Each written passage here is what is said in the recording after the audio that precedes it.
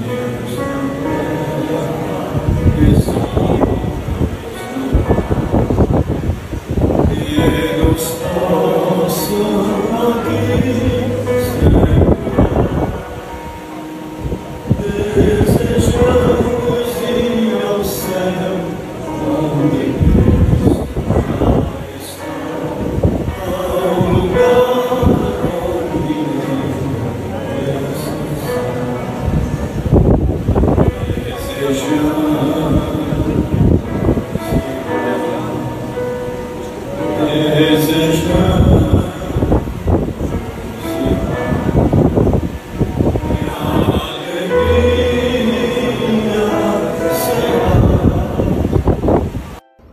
Para mim ele foi um amigo, um companheiro, um irmão, um baluarte,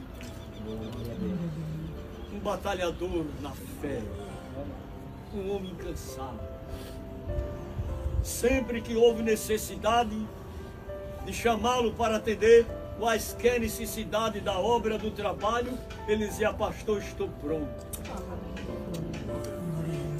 E pela graça de Deus eu posso dizer, ele nunca me faltou com respeito. Nunca me tratou mal, deixando um exemplo para todos os senhores que aqui estão.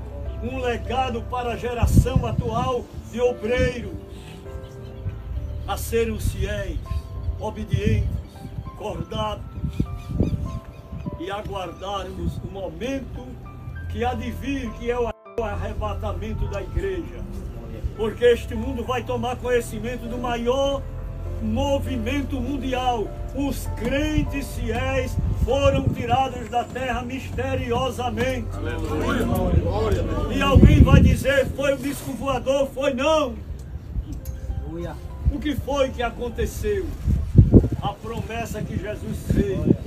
Eis que cedo venho e o meu galardão está comigo para dar a cada um segundo a sua obra.